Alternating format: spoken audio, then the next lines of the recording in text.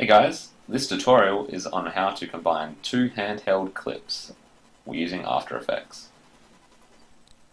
So, for an example here, with this tutorial I'm going to use some footage that I shot for the short The Ambush that I created a few weeks ago with uh, the Film Shorts crew. And so here's the finished clip right here. As you can see, it looks like there's one shot, both of us, but uh, both of Nathan. But what it is, it's two shots basically, but both of them are, were handheld shots, so you couldn't just go into After Effects and mash them together because they'd move all over the place and it would look ridiculous, wouldn't look right. So i am basically going to show you how to, how I, what I had to do to complete this shot. So what I'm going to do is I'm going to get my raw files that were shot at 720p at 60 frames per second in Travis's 550D.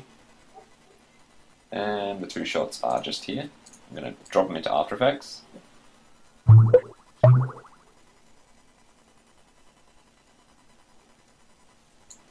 Just let my drive spin up there. And I'm going to drop it in, create a composition, drop them both in. Here. And so basically, I'm going to crop them to make them line up. Okay, so what we need to do is to crop these.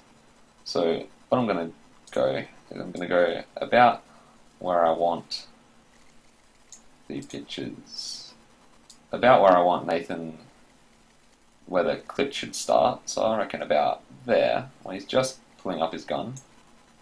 And I'm going to crop that video and move it down to the front, the start of the clip.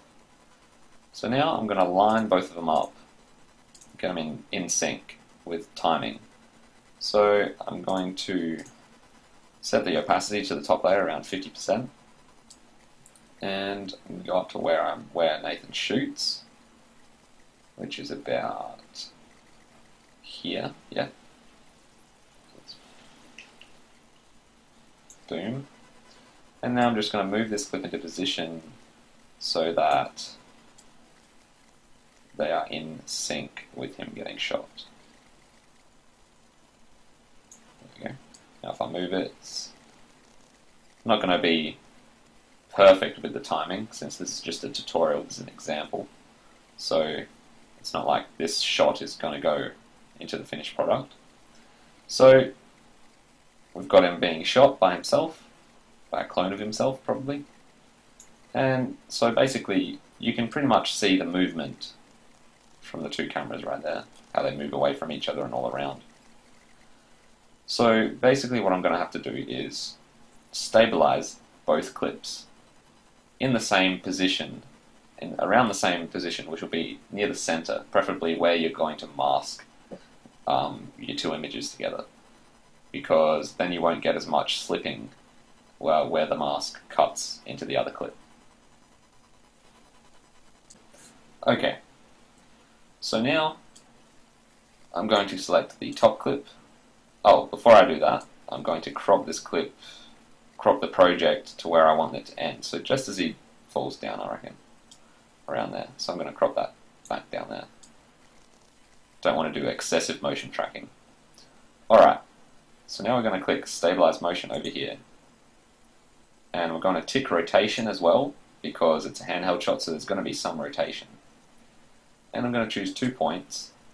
I think I will choose this point, perhaps. Just make sure his hand doesn't go over it when it comes down. Oh, that's alright. Okay. So I'm going to choose that point, that corner, and accidentally grabbed it the wrong way. Alright, and I'm going to choose this corner here. I'm going to make... Okay, so once that's been tracked, as you can see if I scrub through, they stay on the points pretty well. His hand almost stuffs the track up, but that's good. Alright, so now we're going to click Apply under the tracker menu and click OK on the options. And so now when we go when it's back to the composition, if we set the opacity back up for it, as you can see, it's stable around that point, so everything else will move around it. So we've basically cut out the actual camera movement. That's a pretty nice track there, I would think. Alright, so now we're going to have to track the other clip. So we're going to go stabilize motion again, tick rotation, and try to use the same points that you used on the first clip because this will just make the merging of the two clips much much nicer. Okay, now that's tracked, as you can see, they're tracking pretty well on the same points as the other one. So now I want to apply the motion again. And now basically both of them are stabilized. So now we want to actually line the, their positions up. So what I want to do is set the opacity to the top layer down to about 50% again. And as you can see, they're, they're off a bit, by quite a bit. So if you look here, the anchor point's fully keyframed, so we don't want to change that. So we'll change the position, which isn't. So we'll just move it into position. It's quite easy. Try and get the area where you've tracked it in line. Doesn't matter about the background since we're only going to have half and half of each image. And it won't be opaque. Alright, so